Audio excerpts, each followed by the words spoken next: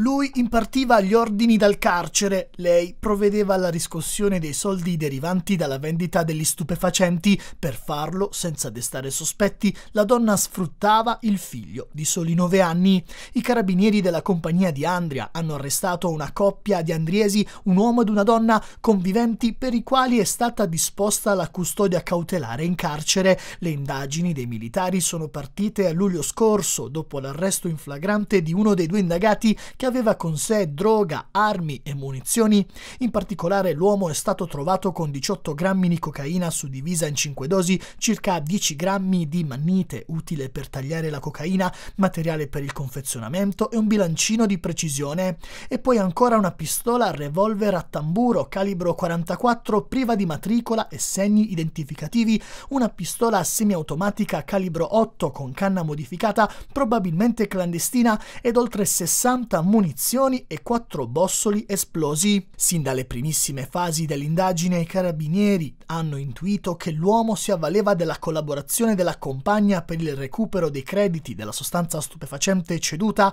mediante i colloqui nel carcere di Trani durante i quali incontrava settimanalmente la convivente impartiva precise disposizioni sulle modalità esecutive per recuperare i crediti pendenti dai vari acquirenti anche tramite minacce indicava la donna nominativi e modalità e lei, in più di un'occasione, avrebbe usato il figlio di 9 anni, avuto da una precedente relazione, per acquisire il denaro, secondo gli inquirenti, per non destare sospetti. Ora anche la donna è finita in carcere, per lei si sono aperte le porte della casa circondariale di Trani, mentre l'uomo è stato trasferito nella struttura detentiva di San Severo. Per la coppia di Andriesi le accuse sono di detenzione, spaccio di droga, estorsione e ricettazione con l'aggravante di aver sfruttato il minorenne durante Durante l'attività sono stati anche identificati otto acquirenti di stupefacenti.